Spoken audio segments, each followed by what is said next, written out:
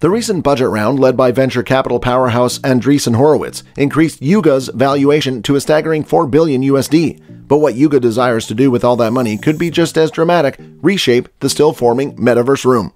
To recap, Yuga is the company that rose to prominence in late 2021 and early 2022 as NFT mania swept the globe ultimately resulting in NFT investments from celebrities such as NBA star Steph Curry and pop star Justin Bieber.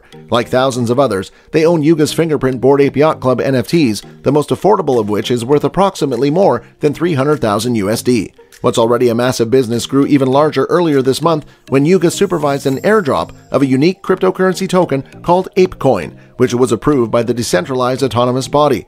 Although technically detached from Yuga, Bored Ape NFT owners received thousands of free ApeCoin and found themselves with an asset worth numerous real-world USD. ApeCoin increased by up to 90% on its second day of trading. Yuga intends to take the organic next step in its sequel by allowing bored apes to socialize with one another, and where better to do so than in the multiverse. Today's video shows you everything about the Bored Ape Yacht Club that possesses higher plans to enter the metaverse. But before we begin, subscribe to our channel to never miss out on more videos like this. Yuga Labs taunted a metaverse platform, otherwise shortly after the release of ApeCoin. There are a few details, but there is no set release date for the venture. Still, Bored Ape Yacht Club co-founder Wylie Aronow, who ends up going by Gordon Goner's pseudonym, told the sources that he envisions a multiplayer role-playing game and a player-run world. According to an unreleased pitch deck that appears to have been created by Yuga and has been circulating in crypto societies on Reddit and Twitter, the business will look to use a prospective metaverse platform to reward its current community. According to the deck, Yuga Labs intends to include 200,000 plots of land, with 30% of the first 100,000 plots going to existing Bored Ape Yacht Club and Mutant Ape Yacht Club holders.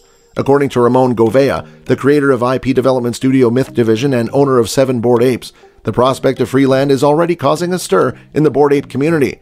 When you're aligned with organizations that focus on infrastructure first, possessing virtual real estate is a realistic route for wealth building, Gouveia told Fortune. Whatever is on the other side, we have the opportunity to define it as ApeCoin holders. Otherside, a metaverse platform developed by Yuga Labs, will join an increasingly crowded field of metaverse platforms, some of which also include NFTs and cryptocurrencies. The Sandbox and Decentraland have emerged as popular Web3 metaverse platforms. Both incorporate NFTs, which allow users to purchase land and in game assets such as avatar outfits that technologically belong to them rather than the platform. Each has its cryptocurrency as well. However, Yuga Labs has an edge in the brand names in its portfolio when it comes to creating its metaverse framework. Yuga Labs now controls four of the top NFT collections after acquiring the rights to the CryptoPunks and Meebits NFT collections earlier this month. Bored Ape Yacht Club, Meebits, Mutant Ape Yacht Club, and CryptoPunks. These NFT collections have vibrant communities that could mean the difference between Yuga's metaverse being a bustling metropolis or a ghost town. The Sandbox has partnered with well-known companies such as Adidas, Warner Music Group, and Atari to attract users. In contrast, large corporations such as Samsung and JP Morgan Chase have opened virtual spaces in Decentraland. These companies are all looking for their own multiverse societies, but Yuga already has one built in, or so the theory goes. Nonetheless, Decentraland's designer director Sam Hamilton claims that Yuga Labs' entry into the metaverse space does not pose a threat to his company.